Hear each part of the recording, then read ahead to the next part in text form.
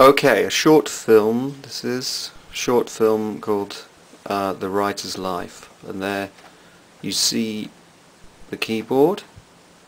Yep, keyboard. Got the idea. And there is the blank computer screen. No words on it yet. No words. The coffee pot is near the keyboard, and I'm hoping, my hope is that the coffee pot will write the book. But it's it's not working so far.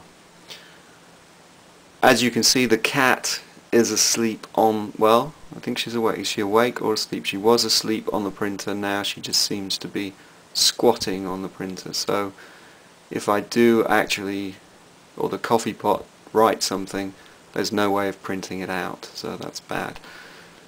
There are the index cards that are very important to any writer to have them in different colors. That's a reference book which you can see has got lots of interesting things already marked for me. Um, and we'll what else have we got? Hang on I'm going to go down to the floor in a minute and have a look at stuff on the floor. Seamless cut I think you'll agree.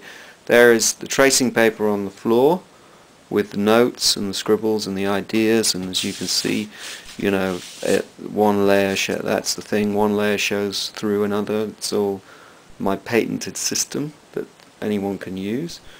Um, Dostoevsky paperbacks around me on the floor trying to hope that some ideas and thoughts and general kind of genius will somehow enter me from the proximity of the books. There's the bin, which has the stuff thrown away, the rubbish ideas that I've had already, the index cards, wasted, squandered, really. Um, two printers, but that's, you know, the way it is. Okay, still, let's see if the if the coffee pot has written anything while I was looking at the floor. No. Okay.